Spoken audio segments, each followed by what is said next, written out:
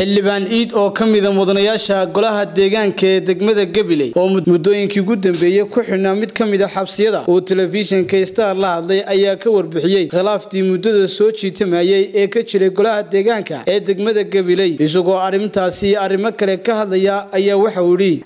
Waxaan doonayaa inaan halkan ka caddeeyo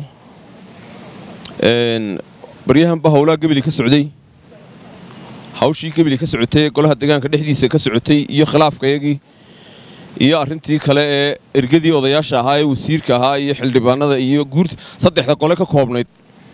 Waxaan halkan ka caddaynayaa maanta inaan ergadii saddexda gole ka koobnayd ee noo timiday arrinkoodii inaan aqbalnay oon qaadannay.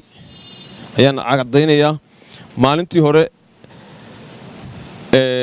waannu ku kala qaybsannay laakiin maanta waxaan caddaynaya inaan arrinkii ergada aannu qaadannay.